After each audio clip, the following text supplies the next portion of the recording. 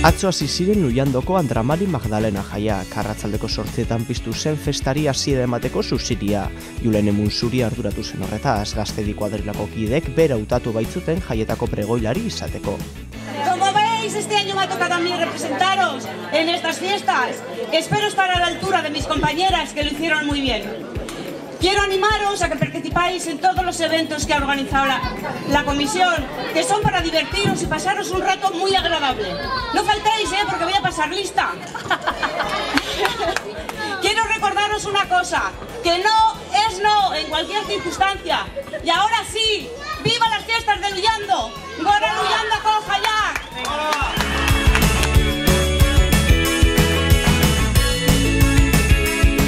Igander arte lusatuko dira Andramari Magdalena jaia, eta Augustoaren mango saie jarraipena Luiandoko jaiei San Lorenzo eta Santo Domingoko ospakizunekin.